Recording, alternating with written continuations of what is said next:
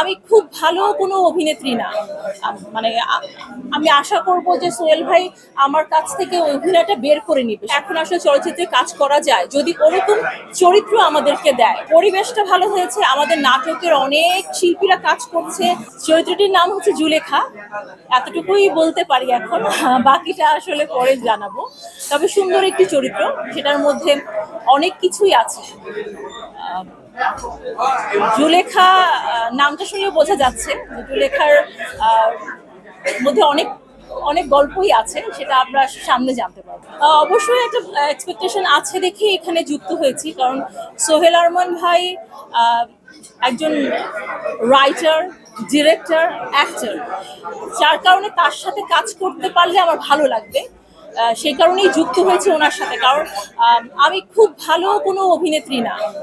মানে আমি আশা করব যে সোহেল ভাই আমার কাছ থেকে অভিনয়টা বের করে নিবে। সে জুলেখাকে যেভাবে দেখতে চায়, সেভাবে হয়তো বা সে জুলেখাকে বের করে নিবে। তো এই বিশ্বাসটা আমার তার উপরে আছে এবং সেও আমার উপরে ওই আস্থাটা রেখেছে দেখি এই চলচ্চিত্রের সাথে আমি যুক্ত হয়েছি।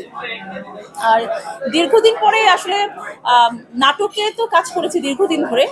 নাটকের কাজ অভিনয় চলচ্চিত্রে অভিনয় সবই তো অভিনয়, আমি তো অভিনয়টাই করি। তো আশা করছি ভালো কিছু হবে। হ্যাঁ হ্যাঁ অবশ্যই আপডেট নেওয়া হয়। আমি হলে যেয়ে ছবি দেখি। তো দেখে আমার কাছে ভালো লেগেছে। মনে হয়েছে এখন আসলে চলচ্চিত্রে কাজ করা যায়, যদি ওরকম চরিত্র আমাদেরকে দেয়।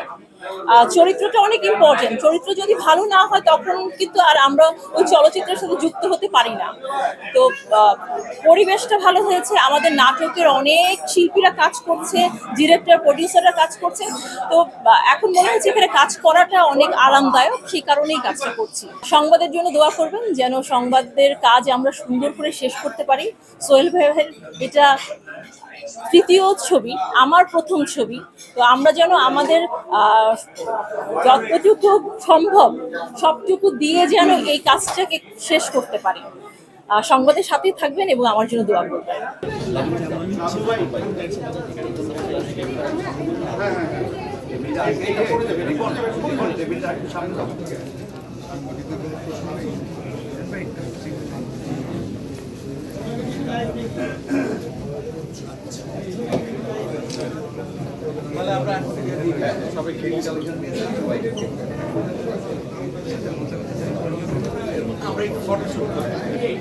সংবাদ, ফিচার ও অনুষ্ঠানের জন্য ভিজিট করুন সংবাদ প্রকাশের ওয়েবসাইট এবং যুক্ত থাকুন ফেসবুক পেজ ও ইউটিউব চ্যানেলের সঙ্গে।